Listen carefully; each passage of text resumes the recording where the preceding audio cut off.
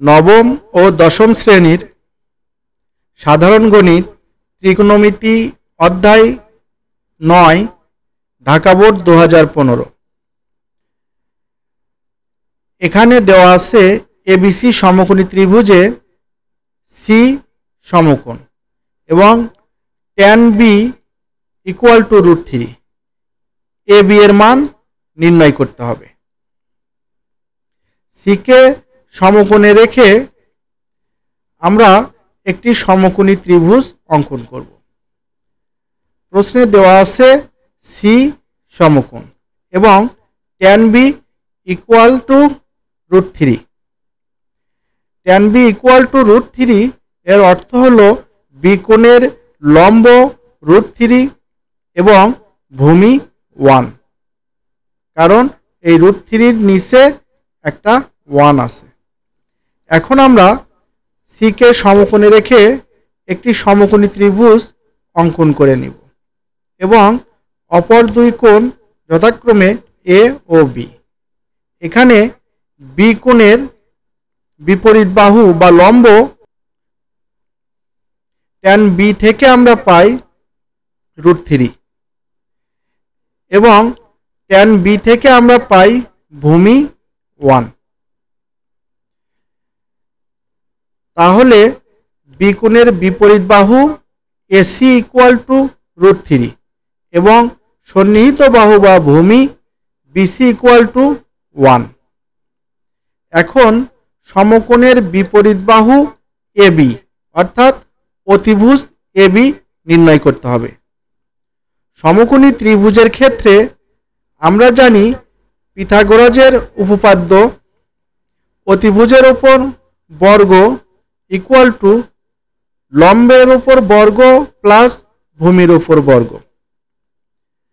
তাহলে A B square equal to লম্ব AC square plus ভূমি বিসি স্কোয়ার এখানে বিকোণের লম্ব AC equal to root three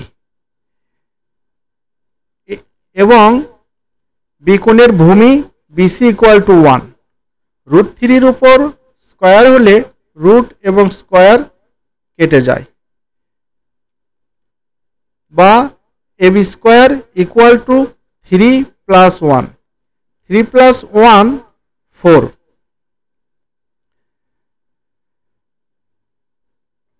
বা A B equal root four আমরা জানি ফোরের ওপর রুট হলে টু হয়। অথেব এ বি ইকুয়াল টু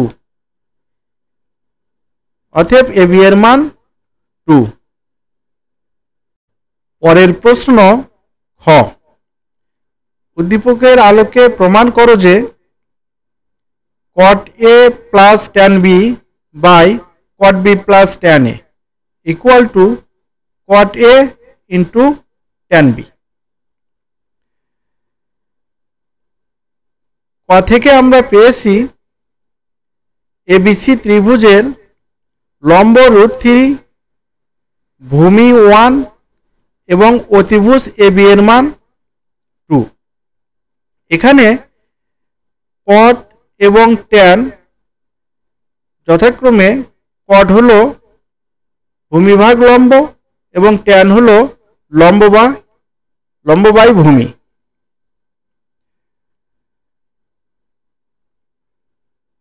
এখানে এবিসি সমকোণী ত্রিভুজে সিকোণ সমকোণ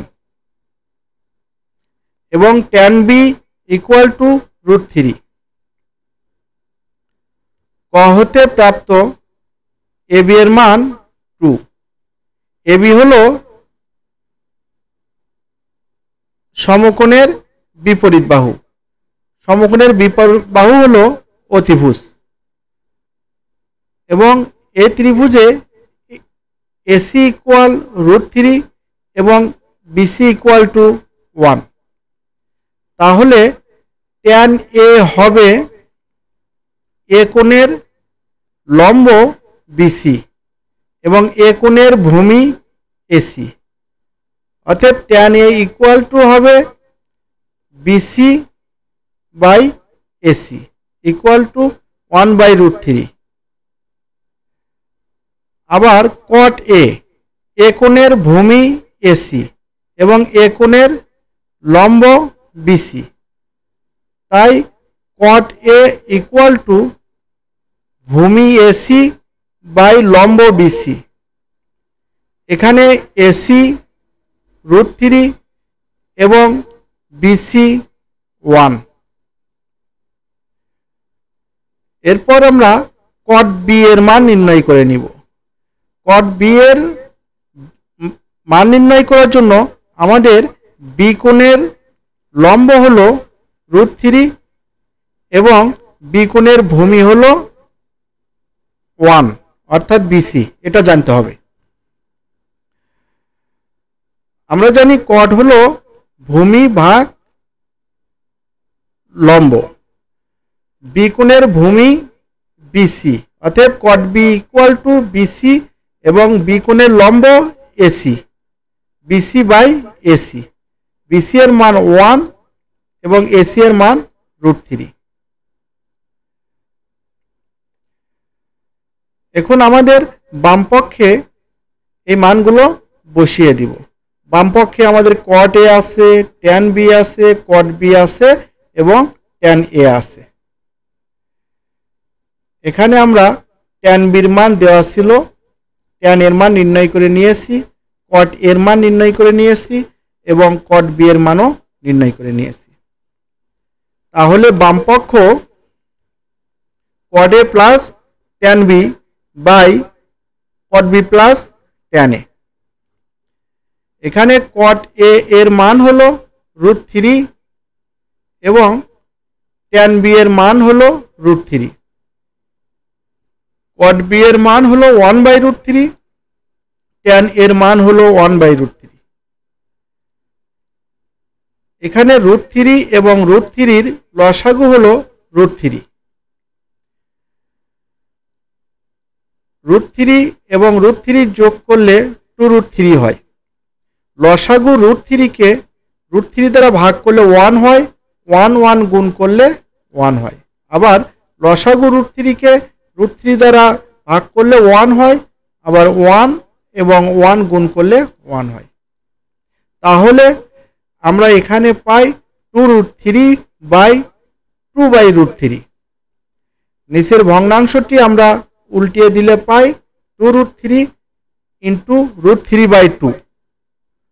Two two কেটে দিলে আমরা পাই রুট থ্রি গুণ root three root three whole square. Square root কেটে গেলে বামপক্ষ থ্রি এখন ডান পক্ষ হল cot A into tan B cot এর মান রুট থ্রি ট্যান বি এর মান root three root three root three গুণ করলে আমরা পাই root three square square root কেটে দিলে এর মান থ্রি অতএব cot A plus tan B cot B plus tan A equal to cot A into tan B বামপক্ষ ডান পক্ষ প্রমাণিত।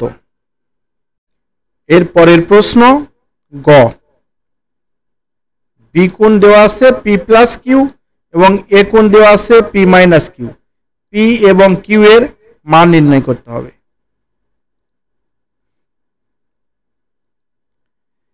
এবিসি সমকোণী ত্রিভুজে দেওয়া ছিল সিকোণ নাইনটি ডিগ্রি বা সমকোণ এবং tan B equal to root three root three হল ট্যান সিক্সটি ডিগ্রি এর মান।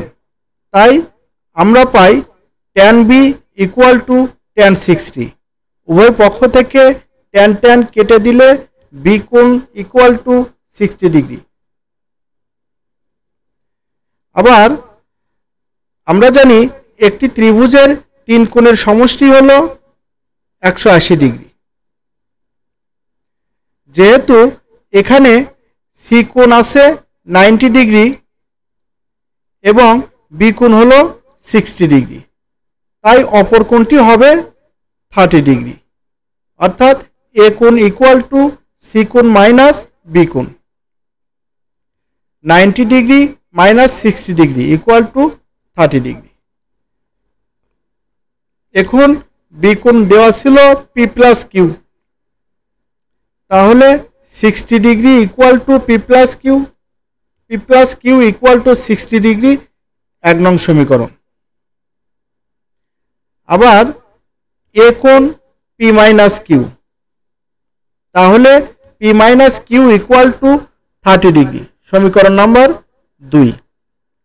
এখন যদি এক এবং দুই নং সমীকরণ যোগ করি, তাহলে আমাদের কিউ কিউ কেটে যাবে এবং পি এর মান নির্ণয় করা যাবে। সমীকরণ এক ও দুই যোগ করে পাই। সমীকরণ একের বামপক্ষ হলো পি প্লাস কিউ এবং সমীকরণ দুইয়ের বামপক্ষ হলো পি মাইনাস কিউ। সমীকরণ একের বাম ডান পক্ষ হলো সিক্সটি ডিগ্রি প্লাস সমীকরণ দুইয়ের ডান পক্ষ হলো থার্টি ডিগ্রি এখানে Q minus Q plus Q কেটে গেলে পি পি যোগ করলে two P sixty degree plus thirty degree equal to ninety degree উভয় পক্ষকে দুই দ্বারা ভাগ করে পাই পি কোণ ফর্টি ফাইভ ডিগ্রি আবার এক নং সমীকরণ থেকে দুই নং সমীকরণ বিয়োগ করে পাই আমরা এই পি এর মান যে কোনো একটা সমীকরণে বসিয়ে দিয়েও মান নির্ণয় করতে পারব। আবার এক নং সমীকরণ থেকে দুই নং সমীকরণ বিয়োগ করে দিয়েও আমরা কিউ এর মান নির্ণয় করতে পারব। এক নং সমীকরণের বাম পক্ষ ছিল পি প্লাস কিউ এবং ডান পক্ষ দুই নং সমীকরণের বাম পক্ষ ছিল পি মাইনাস কিউ কিন্তু দুই নং সমীকরণ বিয়োগ করার কারণে এই মাইনাসটি প্লাস হয়ে গেছে। এবং এক নং সমীকরণের ডান পক্ষ ছিল সিক্সটি ডিগ্রি এবং দুই নং সমীকরণের ডান পক্ষ ছিল thirty degree sixty degree minus thirty degree এখানে প্লাস পি এবং মাইনাস পি কেটে যায়। বা two Q equal to thirty degree উভয় পক্ষকে দুই দ্বারা ভাগ করে পাই Q equal to fifteen degree নির্ণীয় মান পি ফর্টি ফাইভ ডিগ্রি এবং কিউ ফিফটিন ডিগ্রি